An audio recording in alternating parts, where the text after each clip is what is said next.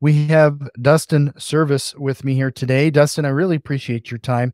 I'm going to direct everybody to your website. So head over to servicewealth.com. But there's a trick here. You got to spell service S E R V I S S. And to make things easier, I'm going to make sure to have that link as a clickable one in the show notes. So, Dustin, we're going to talk about wealth management, but more importantly, some mindset, I think, here today, because I think that's a big aspect to all of this. But really appreciate your time. Thanks, Jack. Yeah, you're bang on. Mindset and in real estate, whether it's wealth creation in real estate or in investments, it starts with the foundation of good thinking and mind nourishment. So let's get into it. Sure. First of all, let's talk a little bit about how you found your way into this because I know you have an interesting hobby and some other interests outside of financial planning and real estate investing. So, based on some of the background I saw, it's an interesting juxtaposition as to how you might have found your way here.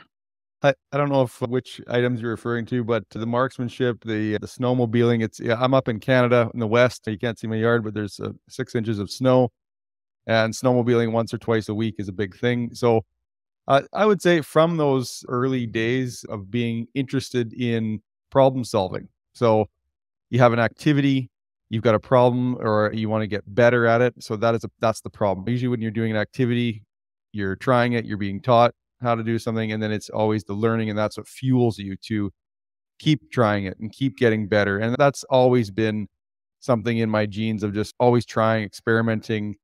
What could I do to get better? And just really being consistent with uh, good practice. And so that was, I took civil engineering in school actually, but was trading stock at office during the day. And that led to moving careers after a few years of that and being in the wealth management business for about 17 years now. And that still is something that I'm, I'm doing today. I'm experimenting with my own money before putting client money into anything or with real estate. I'm part of different mastermind groups and just really that's, I feel like that's my tribe. I feel like I found a community who likes be, dealing with money and, and getting to, uh, using certain vehicles. I, I was going to point out the fact that you, you brought it up with your civil engineering, but you probably have more acronyms behind your name than anybody I've ever had on the show.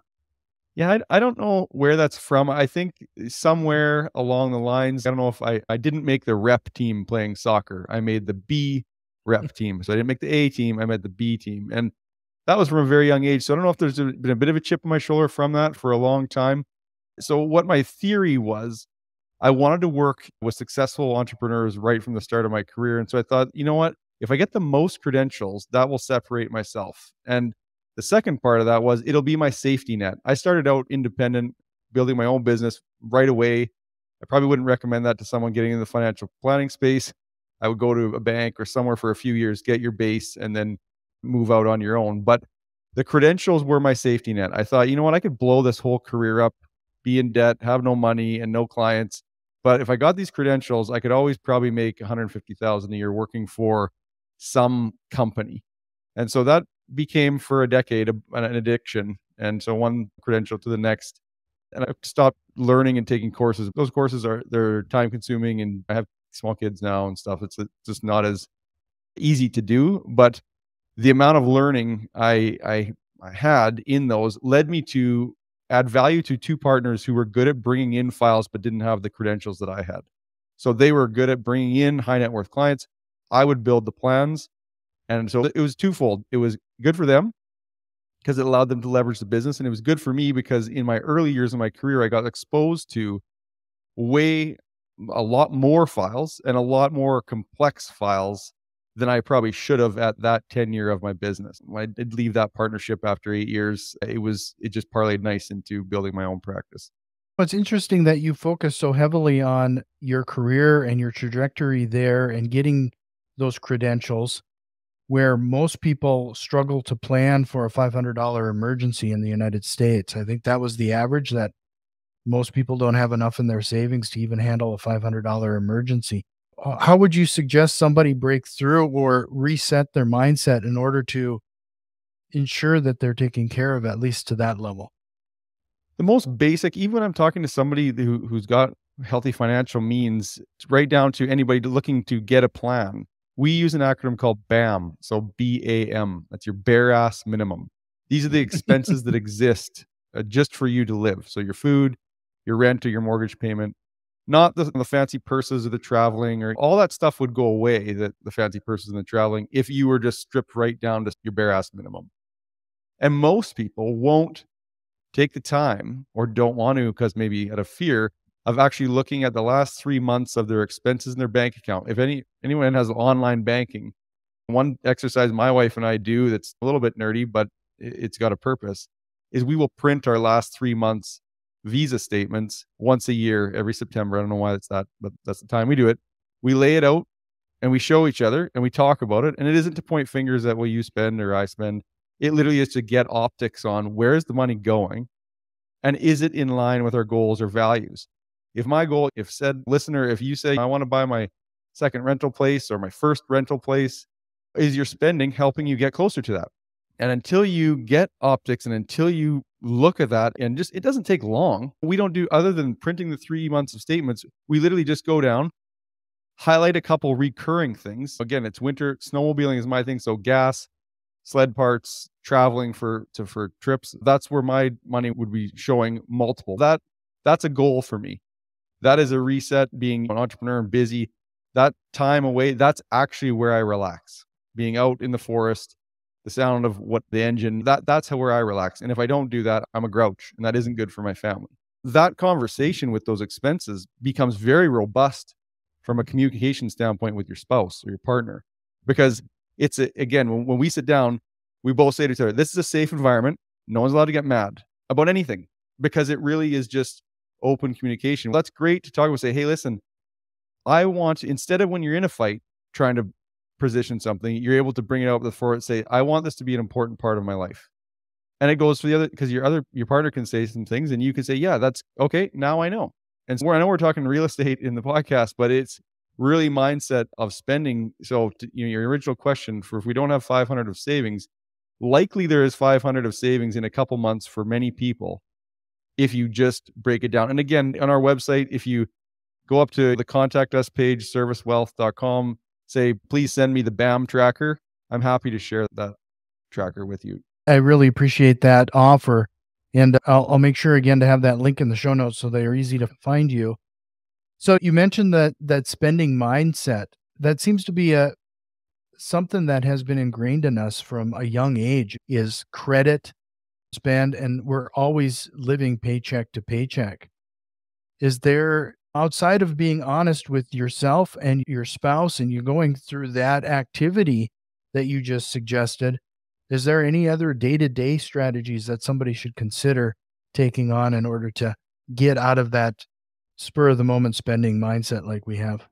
Yeah, I think it just you've really got to spend, and it isn't a lot of time, but you need to create an environment. Whether it's you say on Sunday, you put in your calendar, block it out. I do a lot of blocking in my calendar, and say on three Sundays from now, I'm blocking out from eight till ten, and I want to really figure out this question. And it, it comes from a guy named Dan Sullivan. It's called the R Factor question, and the question is, in the next 12 months, for me to feel happy with my progress personally and professionally, I want to see this happen.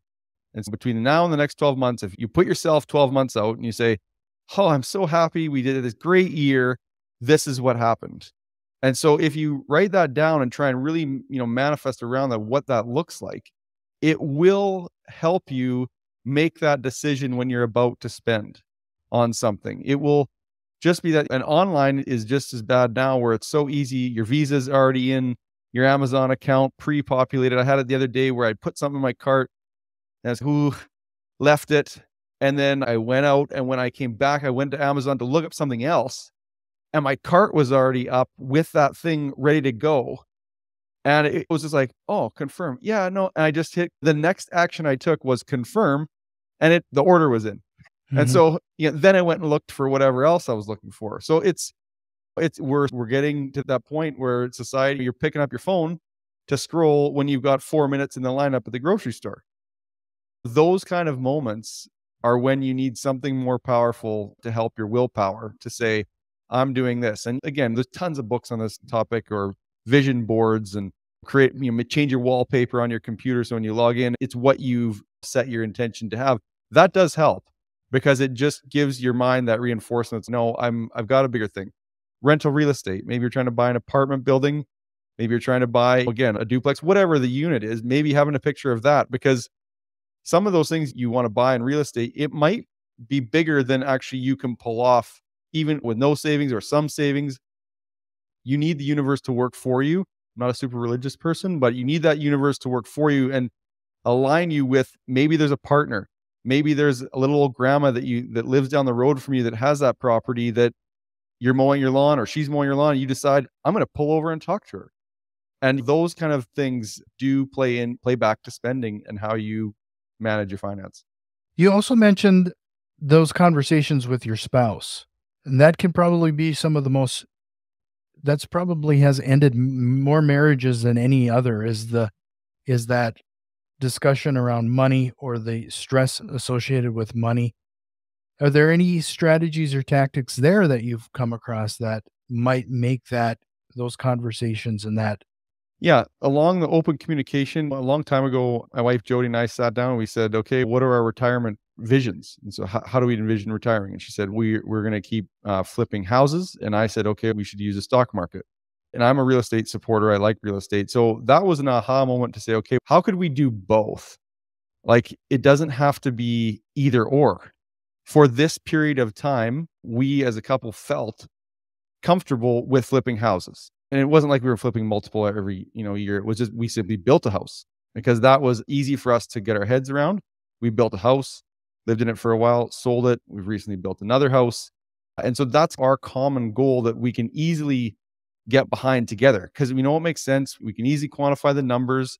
The stock market again i've you know used it for 17 years with clients. I've seen it you know do great things for people. I've also seen it be uh, a stress point where people need to get out that's not to say real estate is a stress free thing, but it is something where, you know, and again, I'm talking about building houses that you live in, but when you build a house, our philosophy has been quite simple. It's like when you build a house, there is a layer of downside protection. Even if you have a hire a builder to build it, if you negotiate what they get paid reasonable, when you take a raw piece of land, if you've built it in a, a raw piece of lot, you've created new value to that area, to that spot. And so say it costs 700,000 to buy a lot and build a house. You do the landscaping, you decorate the house, makes it maybe you got a renter in, in a suite in the basement. That house is probably worth 750 right away as soon as it's done. So you've got this protection that if the market went down 5% the moment you bought it and you needed to sell a double storm, you're probably going to be okay or reasonably close. Whereas if you buy a house for 750 and the market goes down 5% right away, you better hope you negotiated or your realtor negotiated that piece of property well because you, haven't you haven't really built the value. It's probably already there. So again, that's just my own opinion. Everyone can do it different, but that's what's worked for us. When I visited your website, it's mentioned a couple of times uh, the new wealth mindset. Do you mind spending a little time discussing a little bit what that means? So, new wealth mindset meaning when, and this is just again my interpretation. We've got certain experiences and beliefs that we get locked onto our brain like barnacles, whether we recognize them or not. And we pick those up from our parents. We pick those up from our people that are in our lives when we're younger. We pick them up in the books we read when we're younger and we create these things. And so, again, I'm 41 years old, say 22 years of significant work experience. In in that time, I produced this belief that you work extremely hard. My dad was a hard worker, traveled 180 days a year. So I'm assuming that's where I picked that up. And somewhere I picked it up that you need to basically just save as much as you can, work as hard as you can. And then when you retire, hopefully you've got above average savings and investments, and you will be above average happier than other said person. And so that was a successful life but no one really identifies how hard you need to work for how long. And if you do work so hard and reinvest everything into your business and you don't really experience life, you probably will retire single and mentally ill. And I've seen that through existing clients. And then I've seen it where existing clients have done what I would say something more intentional, which is What if we could build a bit of a plan? Doesn't have to be this long paged report, but just a, a visual in one page and say, okay, if we do these things, then we could spend more money now. And, and so that means save less. That might mean working a little less and saving the same. So again, if you've got a certain kind of thing, I'll explain it this way. Imagine there is a, a box in your basement and it's a machine and it spits out money. Every month, that machine out the conveyor belt comes, I'll say $10,000. This is your income. So $10,000 comes out. You've got your BAM, which is your money you need to live on. So let's say 5,000 gets kicked off the conveyor belt into the BAM bucket. Now we've only got 5,000 moving down the conveyor belt. You then say, okay, we need a, an emergency savings. So we're going to put 500 a month into that. So it kicks off 500. Now you only have 4,500 coming down. You see where I'm going with this. Then the mm-hmm. next bucket might be a core investment. So this might be just a middle of the road, you fill in the blank investment. Real estate. Okay. Maybe we've got a, a property that negative cash flows a little bit, but we've got a bigger vision for it. We're going to up the rent. We're going to develop the other side. We're going to put a suite in the basement. So we've got negative cash flow. Okay. Bam. We, we, and then we got a high risk bucket. Maybe this is your crypto, your penny stocks, whatever you want. That's enough that when you build up an account, if it bumps and goes up two times, you feel it, but not enough that it affects, if it goes to zero, which it has a high likelihood that it will, that you haven't affected your family. And if you do this and there's more money still coming off the conveyor belt, then that money you purposely spend. So the idea is that you're living more of your life now, yet being responsible for your future. Because if you map it out, which we do with our clients, is map out the next 15, 20 years, if you checked off all those boxes of those responsible buckets that it was kicking money off into, here's what the number would be. And so if that number is above what you think is needed, then you could actually save less. And so now all of a sudden you've got to let's not save 2000 into the real estate bucket. Let's say 1500. Well, now you got 500 extra to spend. The one thing I didn't mention in there, which is very important, is risk management. One of those buckets on the conveyor belt is what happens if I die? What happens if I get hurt or sick and can't work? And if someone hasn't significantly researched that or addressed it, if you're single and you don't have a mortgage, I wouldn't worry too much about putting in bucket there. If you are the breadwinner for your family and you have a decent income, if that income is gone, what hap- what happens to your BAM? And that's why it's so important to know what your BAM is. Your bare ass minimum. If you can't work and generate income, who's paying the expenses? If you got tons of real estate and stocks and you can figure out, oh, my, my BAM will be covered for 25 months. Okay, then that, that might be that might be acceptable. But maybe you don't want to sell your real estate. Maybe you don't want to sell your stocks when they're down because it's a COVID crash and it's down 35%. So disability insurance maybe comes from your work, maybe comes from a broker. We've touched briefly on real estate investing. Can you talk a little bit about how you've incorporated it sounds like you're doing more of a balancing act be- between real estate investing and the traditional financial planner. It's, it seems to be a little bit more imaginative than some of the financial planners that I've had experience with in the past. I just don't think the market is the end all be all for the whole plan. For some people, my older clients that say, I just don't want tenants. The idea of buying said stock or whatever stock and I could get a 4% dividend and it's a business that's been around for 100 years, that's appealing because they just, it's hands off. Yeah, it could go to zero, but so could your real estate. But when I look at our, like, like our old picture, real estate has been a byproduct of certain things. So I had an office, I was paying rent. So I thought, well, why wouldn't I just pay myself? So I bought a building with a partner because I couldn't afford the whole thing. Bought a partner we built an office space and we needed two off one office each and we put five other offices in it and rented those out for 750 or, or a thousand a month and then there was workspaces you know for 500 so my net you know at one point i was paying uh, 2500 a month in rent my rent then became a thousand a month was really my net cost once i owned the building yeah i had to sign up for the big loan and all that thing all that was uh, you know my office space uh, a warehouse was a byproduct of a client saying, I've never bought commercial real estate. And what do you think? And, and this is, is a close friend. I said, why don't we do the research together as an exercise? And so one of the people in the office that was renting was a commercial realtor. We told him roughly what the budget was. He found it. We went and looked at it. We vetted it. I took some of the responsibilities. He took some of the responsibilities and we bought this warehouse together, which has been, it's been okay. And so then the final piece that that's left, I, I have had some rental houses in there, but currently we have an acreage that we live on that we're going to develop at some point. Who knows when that'll be, but it's, we almost think of it as like an RSP or a 401k. It's just, we live here, we built a house here. We know that we could develop it at some point, but we like the property the way it sits now. So it just is something that we're just sit and hold. So again, it hasn't been, we built and flipped a house six months ago. And that was more, the market was there. I don't know if the market would still be there to pull that off and make uh, a meaningful enough profit. But currently, my still vision is trying to find rental houses. In our region, it's tough. Cap rates are 3%. So you're really, you've got to find something with some value add that you can do. So I don't mm-hmm. know where your listener predominantly is, but if they're, I still think rental real estate is such a simple thing. If someone's paying down your mortgage, it's just time. As a younger person, people don't want time anymore. They want, mm-hmm.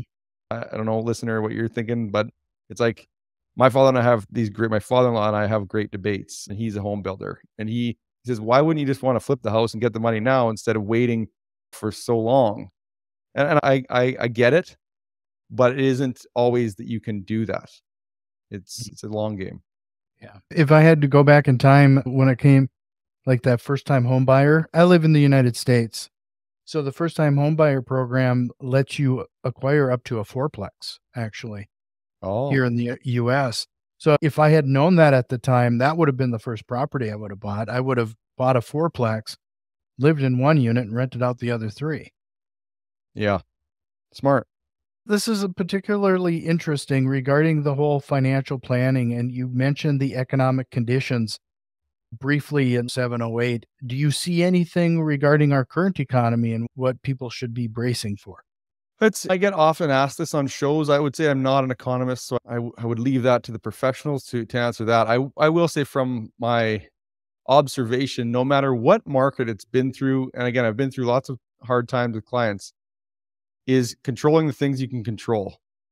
And again, that the BAM is one piece of a bigger picture. We use something called a Life Clarity Summit, and it really is a pyramid. And on in that pyramid, again, without a diagram, you'll still get it.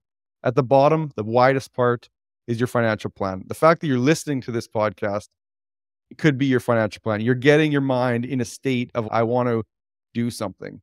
So you've got your financial plan at the bottom. The next layer up, a little bit more narrow, is what happens from a risk risk management standpoint. This is if you die, if you get sick, hurt. And in there, though, is something that not a lot of financial advisors talk about, which is leisure spending, health, and relationships like social connections. One of the things that I observe with some older clients is this infatuation with that hard work, their business, they pour all that time, they lose their hobbies because they have kids or whatever, and they've just got business. They try to keep their family together. Then they sell their business. Then the kids move out of the house. And now they're trying to reform those hobbies and those friendships, which is very difficult when you get older without without getting out of your comfort zone. And lots of people don't want to get out of the comfort zone at that age. Even I'm 41 to go to a new gym, to go to a new group, it takes work.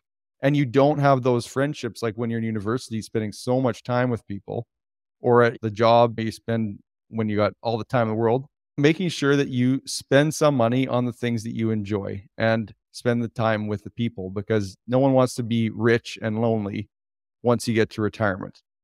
Up the next layer is your wealth accumulation. So we got the bottom financial plan, next layer up to risk management. So now the goals that you want to do, you've managed for the risk so that if something happens, it doesn't affect your goals. Now you're ready to accumulate. In the accumulation zone, why it's above risk management is because opportunities usually need to be acted on fairly quickly. If you don't have your risks managed, it's one more thing to think about. So if you're going to make that offer on that duplex, sixplex, 32 unit apartment building, if you've got a nagging like oh, like if this doesn't go right, what'll happen? If you've already dealt with that, you can act quickly and you can act in offense instead of being in a kind of neutral defense position. So in the accumulation zone, this is where you're building up your investments. This is where you're paying off debt, building up real estate. And also paying attention to your mental health. Because usually in this accumulation zone, it happens, doesn't usually happen right away in your 20s. It might for some people, but for the bulk of people, it's in your late 30s. You have some kids going, you've got your debt, you've got your incomes going up. You've got to pay attention to your mental health. What are you putting into your mind? Mind nourishment can come in many forms either stay curious and take courses, or podcasts, or books. And remember, you are the sum of the five closest influences around you. That can be your spouse, your ex spouse, your parents, coworker, your boss. Be aware that those influences can affect your trajectory. So if those influences you recognize aren't the same trajectory you are looking to be on, you need to make a change. And the final piece of the, the Life Clarity Summit is selling your business or transitioning your career and estate planning. And estate planning, yeah, it's, it's boring topic, do the lawyer documents, all that stuff. But really, I love to talk about estate planning from passing your knowledge on to your children. What are you telling your children? What are you sharing with your children about money, finance, and wealth mindset? Mm-hmm. Yeah, it's one of those things that's I've always found interesting because the way, and I've already seen that because there's certain things that I will do in response to the cost of different things or what have you. And I'm afraid that what the way I respond is something that I'm going to be passing on to my kids. What I when mean, you look at a menu, Jack, do you look at the the price first and then work to the left to the food item? Yeah, I do. Yeah, many people do and instead of just enjoying the the moment and then and then i've caught my my son especially doing the same thing now going does dad want to pay for that yeah. so eh, that that actually has started to really bother me yeah i've got you can see the video i've got a diastema on my teeth and i it's just kind of part of my look but when I, I remember significantly being 12 or 11 and talking about braces with the dentist and i remember thinking no, like I don't want my parents to have to pay for this. And so somewhere before that age, that got ingrained in me. And so then when they said, "Do we want to do you want to do this?" I, I really played up that I didn't actually want it. So that now it's part of my character. And but I do remember that even at 12. Yeah, I think you're on the right track, uh, paying attention to what what what traits you're teaching your son. Yeah. This has been a really great conversation, Dustin. Uh, but before I let you go, I want to remind everybody to head over to your website. It is servicewealth.com and check out his podcast as, as well. So you're going to have to do a search, go for the Picture of Wealth podcast. I saw you had some pretty great guests on there recently. So it's something definitely worth checking out. But before I let you go, I do have some rapid fire questions that I didn't warn you about, and I usually do. So I hope they had, I hope you had seen, had a sneak peek of these before I, I hit you with them. I have not, so I'm I'm ready. Here's your chance to bust a real estating or business myth that has bothered you over these years. How what would be a myth you'd like to bust here today? On the real estate side, I don't know. I, I don't I haven't really the one thing I do remember about real estate is I remember my father's longtime friend and mentor to me. He said, I wish I could have not sold every piece of real estate I've ever owned. And we tried to do that. But then where we're at today, we're in a great spot and it couldn't have been done without selling real estate. So there's maybe a myth to bust. Yeah. This is, uh, and it might just be a story, but I, I know a fella that has talked about some of the older real estate investors in town and they'll, they'll go on the golf course and, and what they do, it's almost because of the depreciation schedule in the United States. They'll essentially trade properties to renew the depreciation schedules for each other. Yeah, you have a trust. There's a, a trust thing that you can also do that I just learned about in the States. Yeah. What book would you recommend everybody checking out? And you cannot say Rich Dad Poor Dad or Think and Grow Rich. Yeah, yeah, there you go. Think and Grow Rich was. I do have a book coming out called Rediscover Your POW, Picture of Wealth. But I would say that the E Myth is a good one for real estate. Yeah, I don't know. I'm a love him or hate him, a Grant Cardone listener. Again, mm-hmm. some people like him, some people don't. But I do think if you sift through all the kind of pizzazz and show showmanship, which he's just doing for marketing, he does have a couple good uh, pieces on real estate and really watching some of his YouTube videos on how to break down a property fast to to figure out if it's even worth looking at.